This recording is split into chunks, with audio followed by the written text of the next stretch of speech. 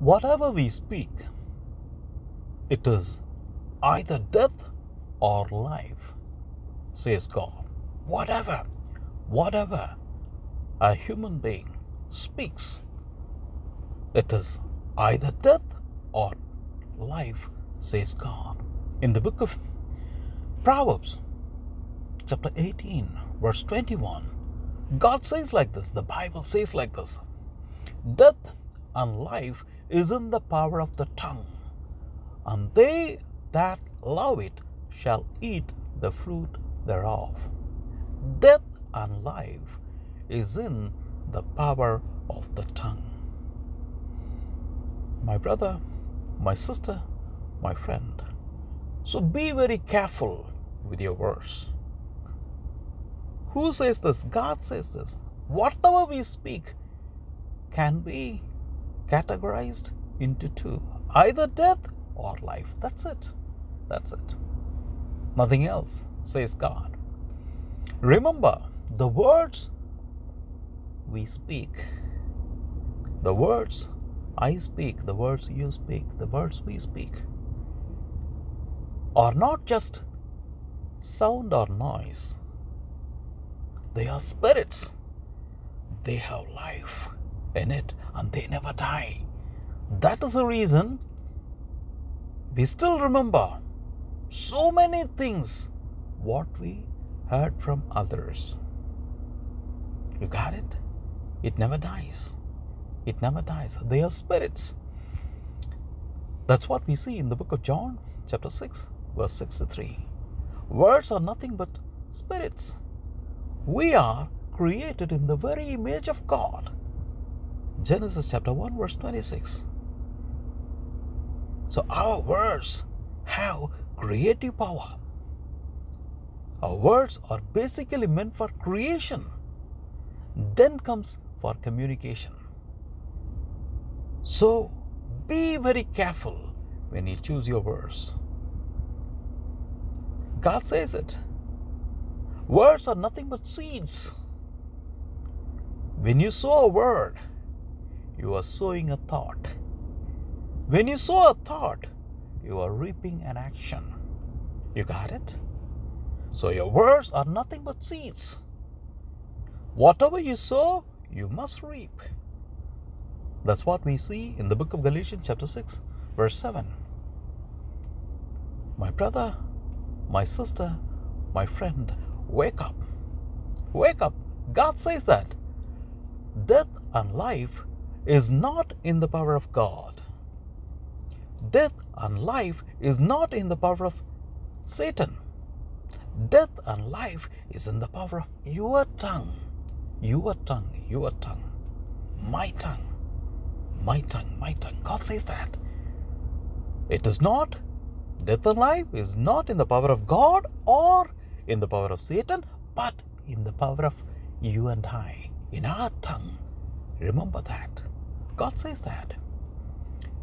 In the book of Matthew, chapter 12, verse 36, God says that man shall give an account of every idle word he speaks on the day of judgment. You know that? Every word, every idle word, what we speak, we must give an account of that on the day of judgment. Wake up, my brother, my sister, wake up. Let your words be full of life, full of love, full of blessings, full of hope, full of encouragement, full of restoration. Choose those kind of words.